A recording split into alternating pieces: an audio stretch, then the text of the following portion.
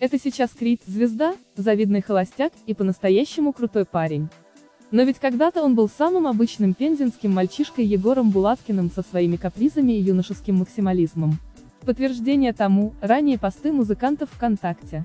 По ним можно сделать вывод, будущий рэпер часто прогуливал уроки русского языка, мечтал не о миллионах фанаток, а о большой и чистой любви, но, видимо, часто разочаровывался. В списке желаний значились новые кроссовки. Им посвятил аж пять постов, удивительно, что не песня. Интересно, какой марки они были. Ида Галич всегда отличалась блестящим чувством юмора. Она с завидным упорством шла к успеху, играла в КВН, снимала смешные вайны и передачи, благодаря чему и стала популярной. Мы решили заглянуть на ее страничку и вот что обнаружили. Ида никогда не боялась одиночества, мечтала о жизни на Манхэттене и о бабочках в животе. Она также занималась пиаром курсовых работ в университете. Что тут сказать? Молодец, Эдончик. Федя Инцаров знатно нас повеселил.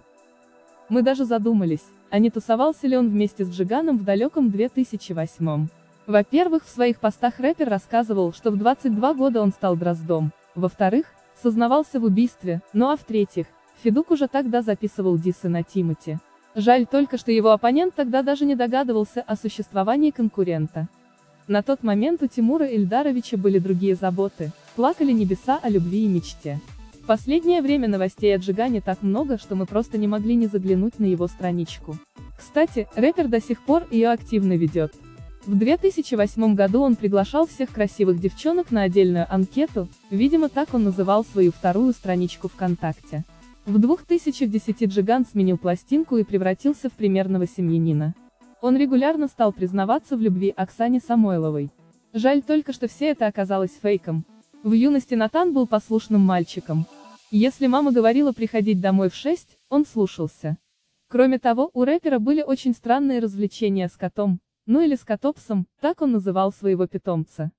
Помимо прочего мы узнали, что, судя по всему, Блэкстер ОВЦ верил в инопланетян, совсем как Катя Лель, помните?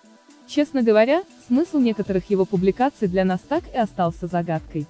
Кажется, на тот момент артист уже встретился с представителями других цивилизаций, и те через его соцсети пытались до нас донести что-то важное.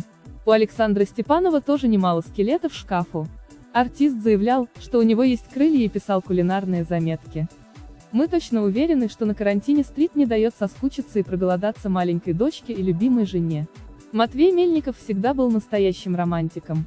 Его ранние посты похожи на заметки из дневничка, которые девочки прячут под подушкой. Правда, последовательностью Мот не отличался, он то признавался дамам в любви, то писал, что нет женщин, нет слез. Чего только стоят его записи за 2010 год в период с 7 по 10 марта. Рэпер поздравлял девушек с праздником три дня, а вот 8 марта это сделать забыл, или это у него задумка была такая. Не совсем понятно, заинтриговал, Матвей. Текст, Таисия Ступина фото, Инстаграм.